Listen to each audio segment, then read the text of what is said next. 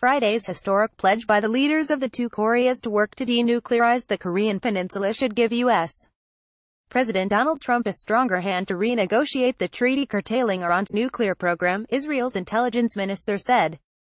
Israel Katz, who runs both the intelligence and transportation ministries, spoke in a Reuters interview after North Korea's Kim Jong-un and South Korean President Moon Jae-in agreed to work for a complete denuclearization of the peninsula at a summit meeting in Seoul.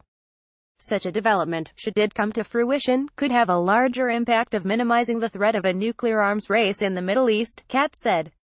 The 2015 Iran nuclear agreement, which Israel's government vehemently opposed, is in danger of unraveling should U.S. President Donald Trump decide by May 12 to restore U.S. economic sanctions against Iran. Trump has called the accord the worst deal ever negotiated and threatened to reimpose the U.S.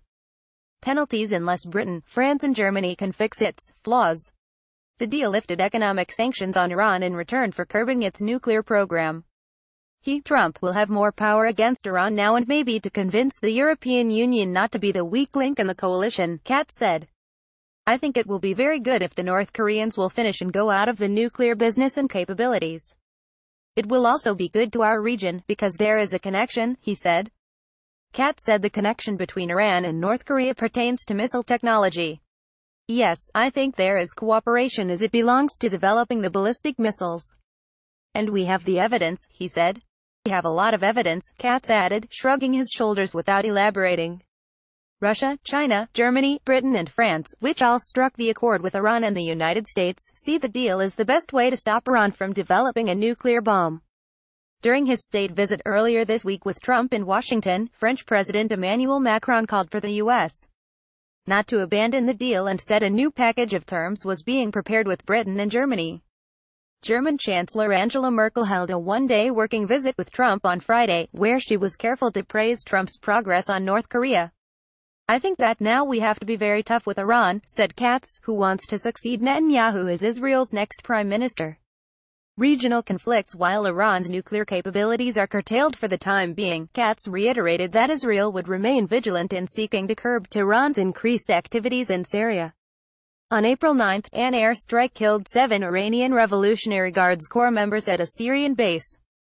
Tehran blamed Israel and vowed unspecified retaliation, drawing Israeli counter-threats to broaden attacks on Iranian military assets in Syria.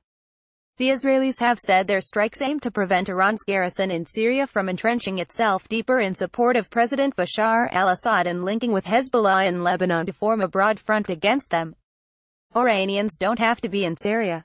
It is not to say we are going to attack every Iranian soldier in Syria, but bases, military bases, and munitions bases, and sophisticated missiles and other things like that. Yes, he said. Russia, a key ally of Assad, has said it would provide advanced weapons to Syria.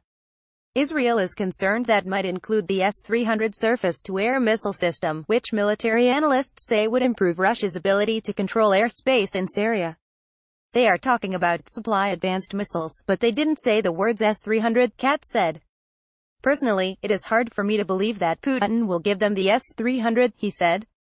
Because this is his main card that he is holding now in the discussions with Israel. If he will give them the S-300, about what can he talk about with us afterward? Reporting by Daniel Bases editing by Tom Brown.